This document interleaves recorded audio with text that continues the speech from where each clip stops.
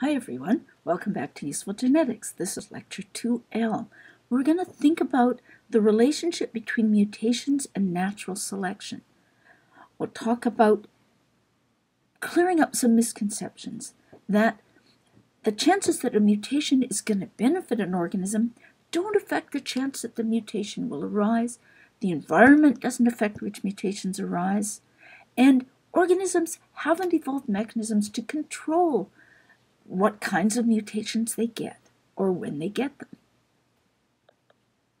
Now, beginners often think that a need for change causes mutations happen to happen, that mutations happen because the environment changes. This makes sense. Natural selection optimizes function. Why didn't natural selection act on the ability to evolve, so to prevent death and extinction? People often think that even a desire for change can cause mutations to happen. Um, there are people who will sell you um, tools purporting to be able to reprogram your DNA. Here's a big list of CDs. You can buy all these CDs online, but none of them are actually going to tell you how to change your DNA because you can't do that. So we've talked about Many factors influence when mutations happen. Many factors influence what kinds of mutation happen.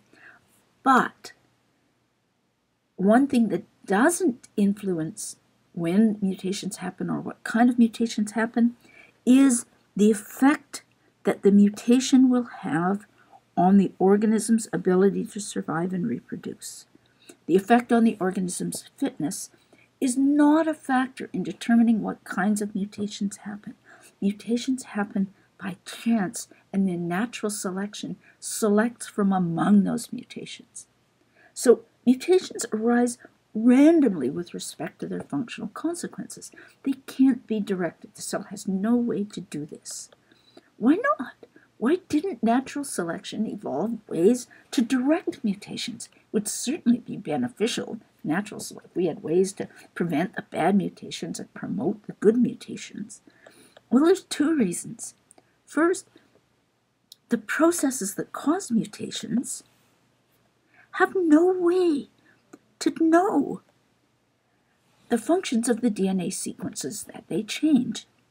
DNA polymerase replicates DNA, it knows nothing about the functions of the sequences that it replicates. Introns, exons, junk DNA, genetic parasites, DNA polymerase can't tell them apart. It replicates them all, treats them all equally. It has no way it could ever tell them apart. Second, cells have no way to predict, even if it could tell what the sequences do, there's no way to tell which changes would be beneficial. The cell would have to understand its environment, it would have to understand the future.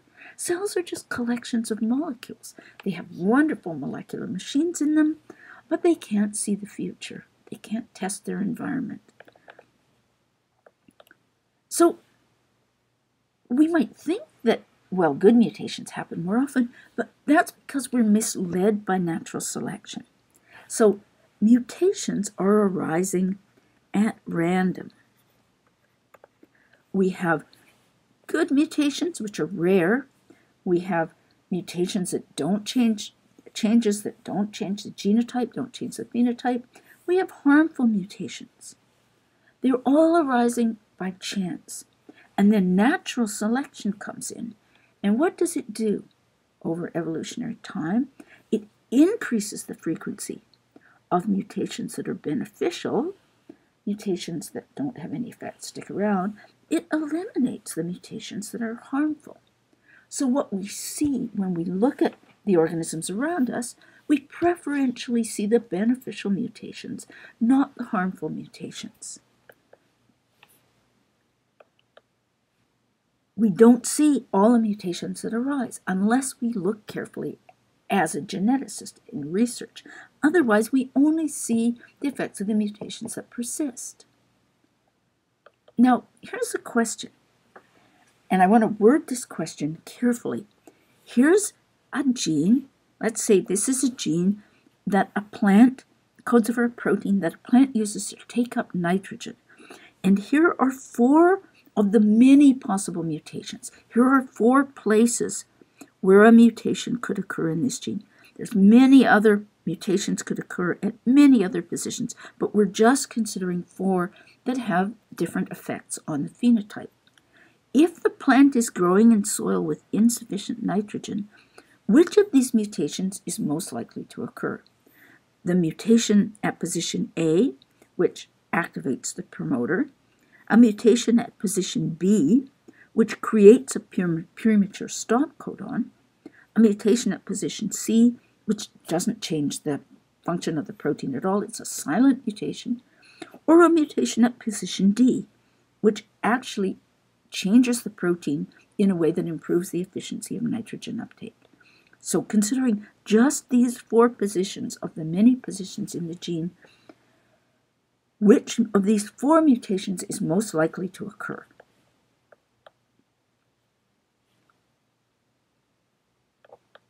And if you followed what we just said, all of these mutations are equally likely to occur because the processes that give rise to mutations can't discriminate on the basis of their consequences for the function of the gene or the function of the organism.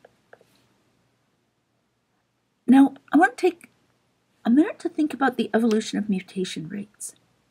Why do we have the mutation rates that we have? We talked about mutation rates in an earlier lecture in this module. Why aren't mutation rates zero if most mutations are harmful? Why aren't they higher so we get more beneficial mutations? And, well, factors we have to consider are first, that almost all new mutations are neutral or harmful.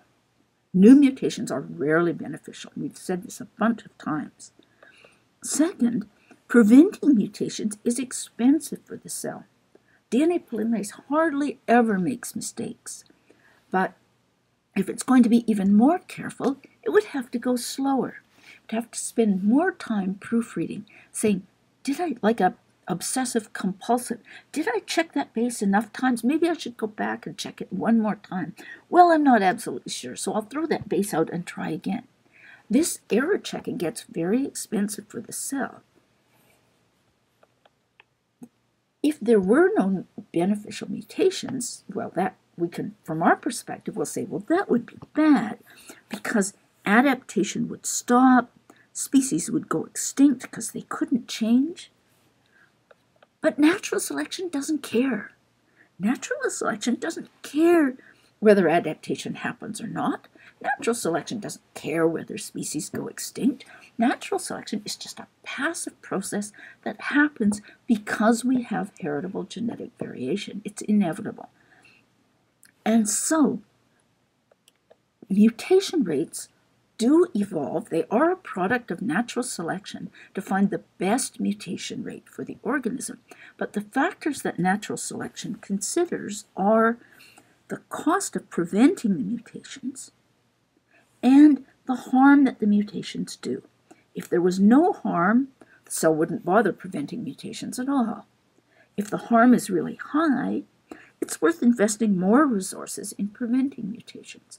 These are the factors that determine what mutation rates natural selection has left us with. It's not the beneficial mutations or causing adaptation or saving species for extinction. These factors play very little, if any, role in determining mutation rates. So, what we've done, we've addressed a big potential misunderstanding the idea that somehow environmental effects can cause particular mutations to happen. They can't. This will also be important when we think about cancer genes because there's a lot of sense that, oh, maybe it's my fault that this happened. But in fact, that's not true. We have no control over which mutations happen. The mutations that we see are a special subset of the ones that arise, and that's because harmful mutations are eliminated by natural selection.